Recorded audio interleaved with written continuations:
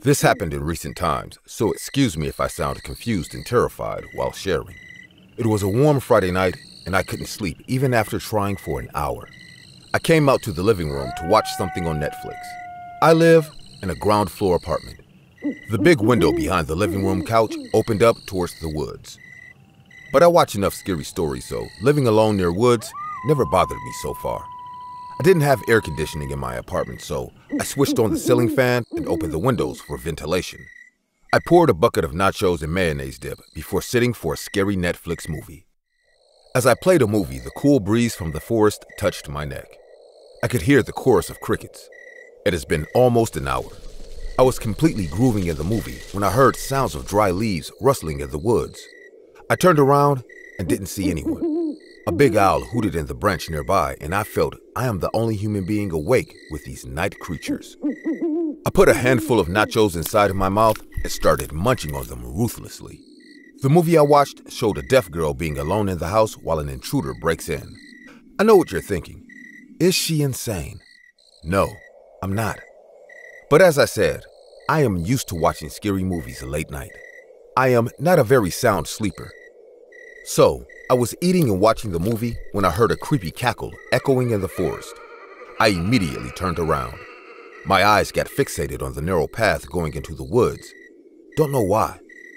A few seconds went by, then the echoing laughter started to go loud. It took me a few seconds more to realize that the sound of laughter is coming close. Suddenly, I saw a man rushing to my house at full speed wearing a trench coat and a baseball cap. He was of average height and a little overweight. Seeing him hovering towards my window like a crazy psycho, I got up from the couch. I threw the nacho tub on the floor and started to close the window, shaking in fear. The man was a few inches away when I slammed shut my windows. He stopped right there. Even though he was so close, I couldn't see his face. The baseball cap created a shadow on his face. All I could see was his rusty, dark lips. He stood there like a statue, and then his mouth formed a crooked smile. I could see his rotten yellow teeth. Whoever he is, he doesn't seem like a nice guy. I understood that very clearly. My heart was beating like drums when the man said something, moving his lips. But I couldn't hear anything. He was going on rambling something inaudible. Then he started to walk towards the left of my house and disappeared behind the walls. I always locked my doors and windows before going to bed, so I was relieved thinking that at least he can't get inside. I sat down and paused the movie. The entire house was in darkness. The light from the TV was my only source to look around. I wanted to go and switch on the lights, but fear of death grabbed my feet too tightly to move. I took a few deep breaths and then started to look for my phone. I must call 911 before anything more happens. I noticed my phone was on the floor, which I threw away while throwing the nachos in shock. And due to the heavy throw, the front screen was shattered into pieces. My cell phone is the only phone in the house. Realizing that I can't even call 911 made my heartbeat become even faster. I crouched down on the floor and prayed to God to make this man go away.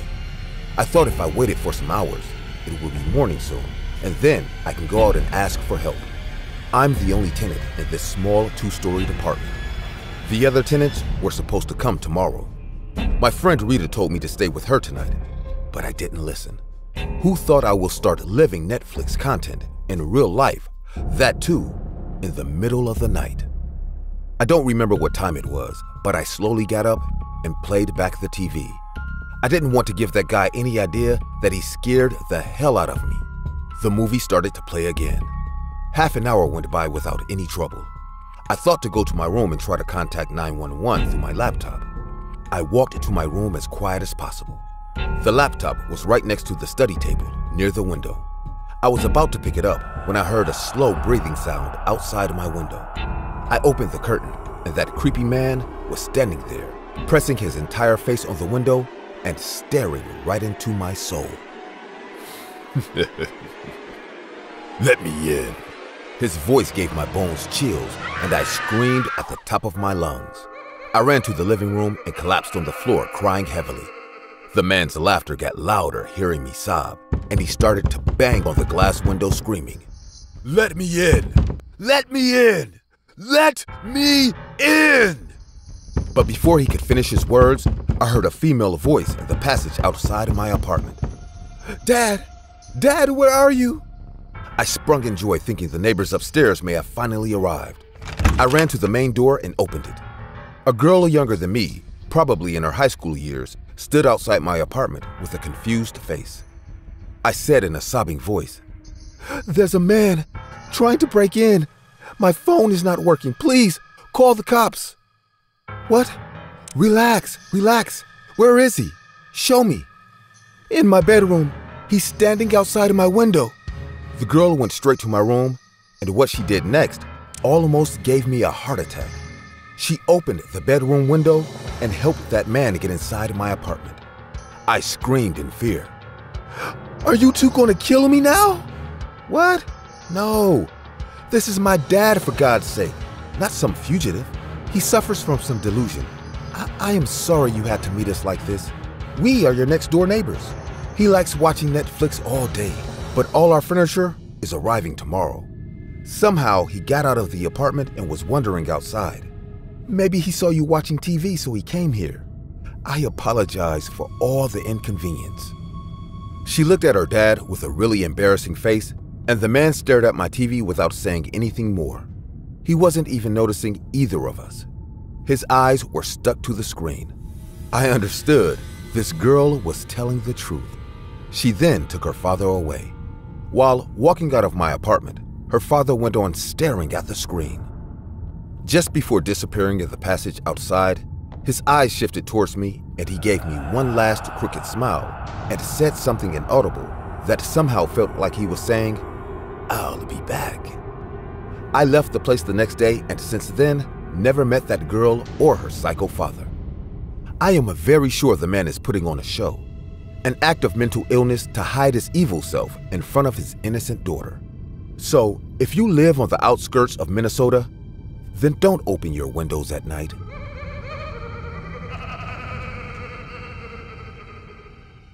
Hey guys, I hope you're enjoying the video. If so, please leave a like. And also, a small percentage of people that watch my videos are actually subscribed. If you want to support this channel and make this channel reach the 1 million mark, please consider subscribing. It's free and you can change your mind later. Enjoy. I woke up with a smile on my face. The sky seemed lovely. Everything seemed beautiful after a long time. While brushing my teeth, I stopped and gazed at my wardrobe, looking for the perfect outfit tonight. After a bad breakup and five emotionally draining months, I finally have a date. Among all my dresses, the black one caught my eye. I took it out and hung it near the mirror to give it a nice press later. After freshening up, I went to the kitchen to make breakfast. I live alone in this studio apartment. My parents live in New Jersey, and I moved out last year. The guy I dated was my neighbor's son, and a total ass.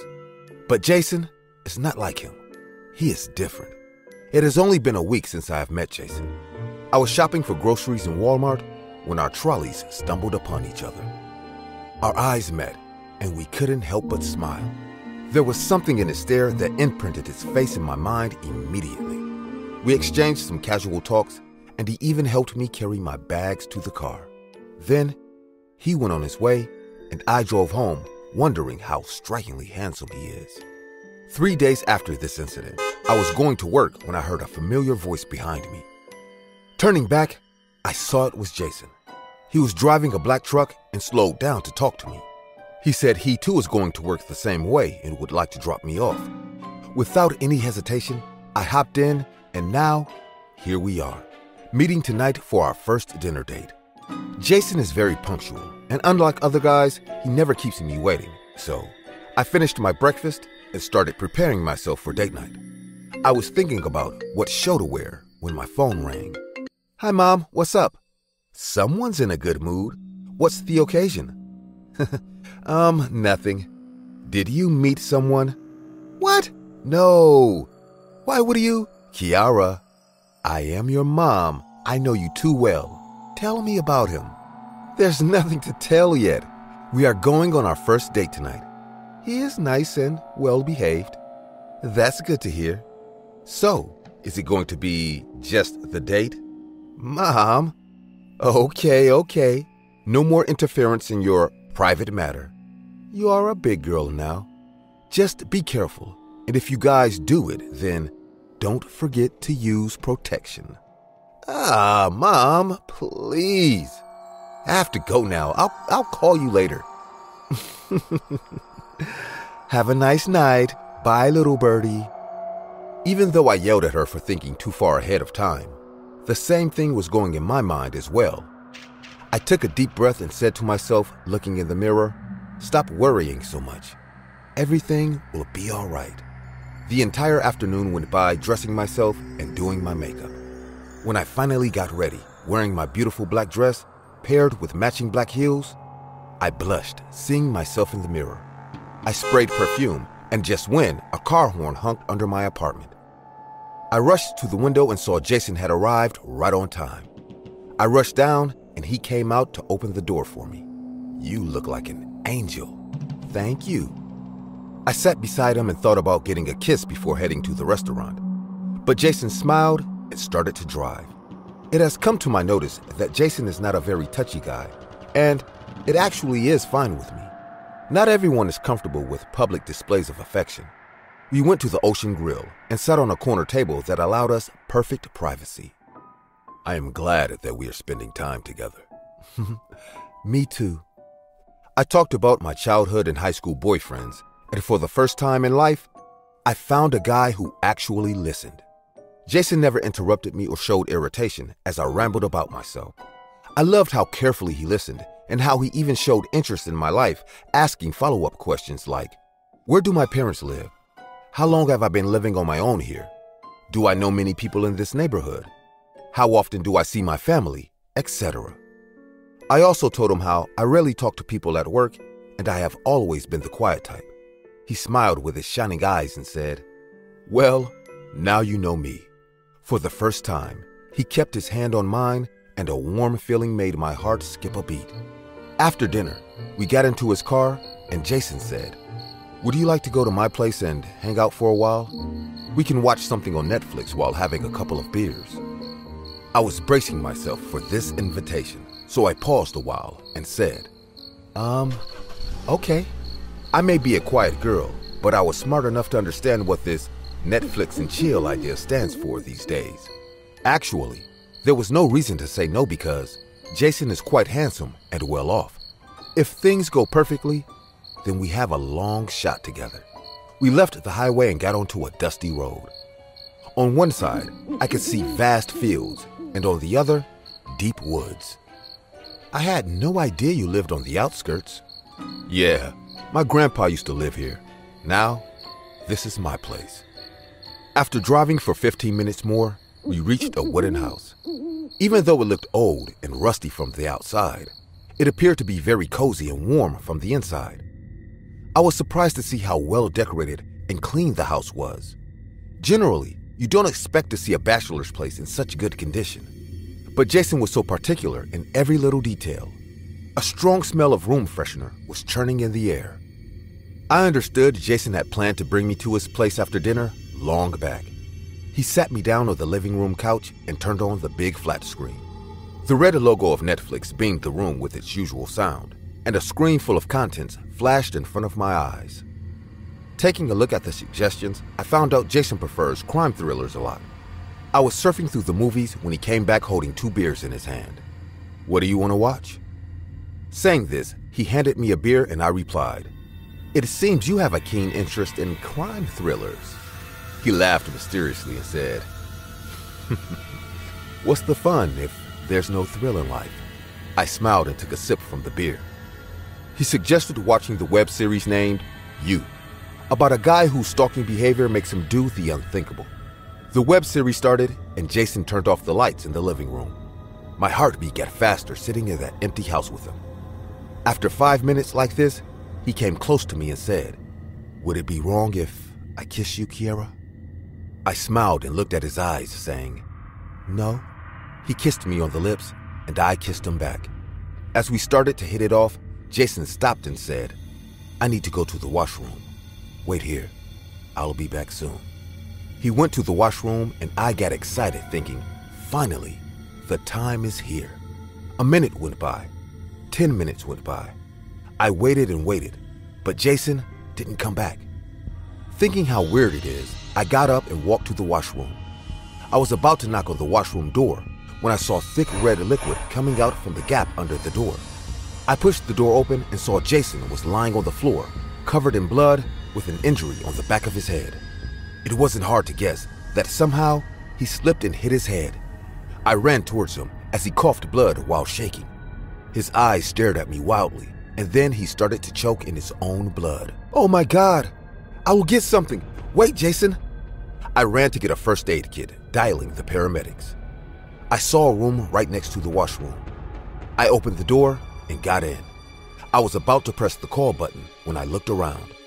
What is this place? Chains were hanging from the ceiling with various torture devices tied to them. There were bamboo sticks, cuffs, and a big black table with sharp needles sticking on the surface. This room is only designed for torture. A camera was set up in the corner, probably to record a snuff film. I didn't call and went to check the camera. There was footage in its memory. One by one, I played those videos. Jason torturing girls in this room. So this is what his Netflix and chill date is. Bringing innocent girls into his house in the name of watching movies on Netflix and then putting them through hell. Has he killed these girls too? My body got numb. I came to a psycho's house being his victim, but now he is lying injured in his own washroom. I thanked God for letting me live and slowly walked back into the washroom. Jason was still lying there and coughing blood. I stooped down to his face and said, Did you torture and kill girls here? Help! Help me! Not before you answer that question. I'm sorry, but I swear I wasn't planning to do that with you. Suddenly, I don't know why I felt like believing him. Maybe he's telling the truth. Maybe he actually fell in love with me. I helped him to get up and brought him to the living room couch. His head was still bleeding like crazy. I ripped off part of my cloth and put it on his head. Then I called paramedics and took him to a hospital. Jason received stitches and half of his body got paralyzed with his injury. A week later, I brought him back to this house, but this time, he sat in a wheelchair. I took him to that room of torture where I have to build a cage to keep him. He was not in his senses when I locked him inside that cage. One day, he might wake from this drowsy state of mind, making me realize it was all a lie that I was too brought as a victim into this house. But if that happens, I am not letting him go behind other women. Taking my inspiration from the web series of Netflix, I will keep him locked up in that room forever and I'm sure he will eventually fall in love with me.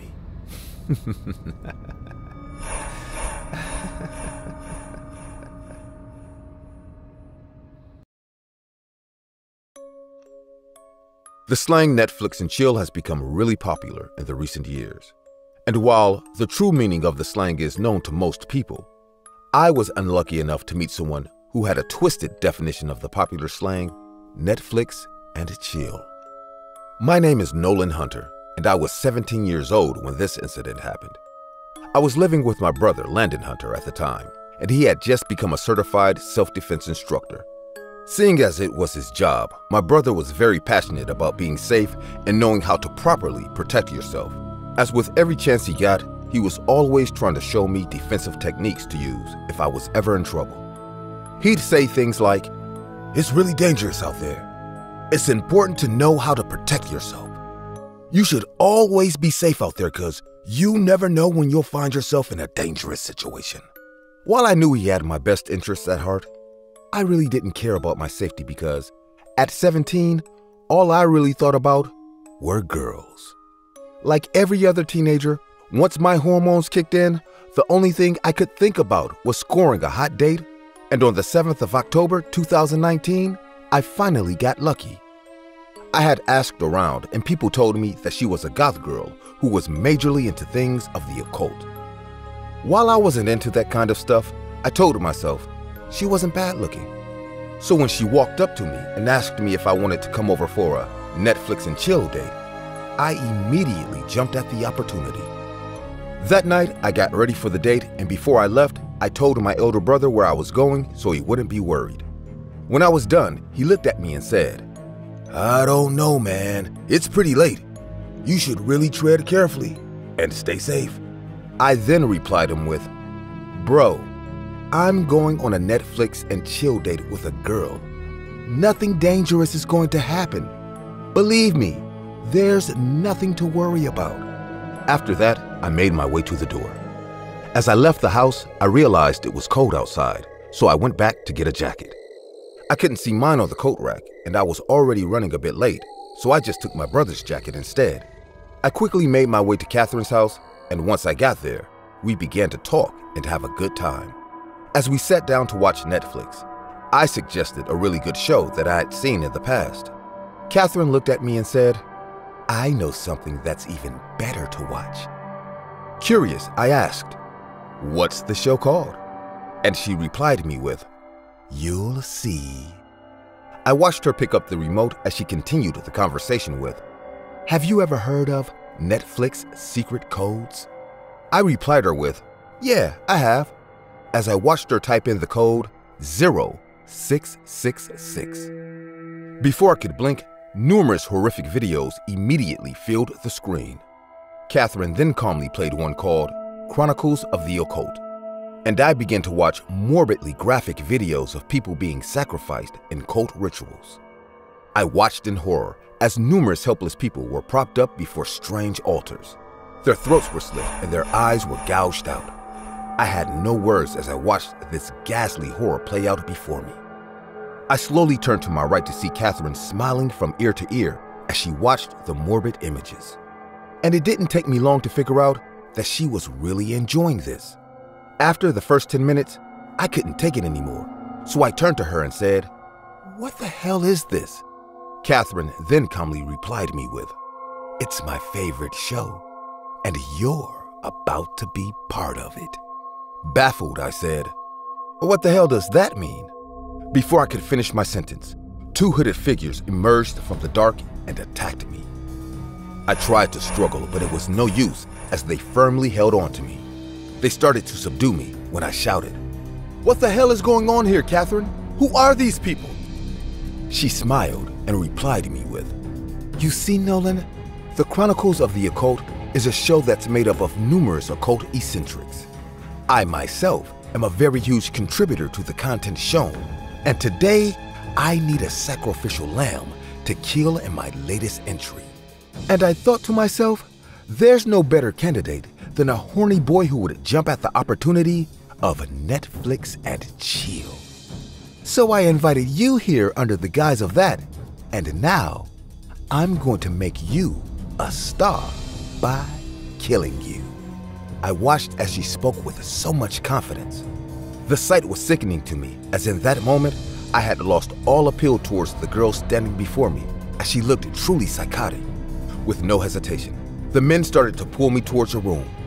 I kept struggling with all of my strength, but it was hopeless. They took me to a room that was decorated with occultist things. I saw the skulls of animals placed around the room. Black candles were placed and lit everywhere to give the room an eerie glow.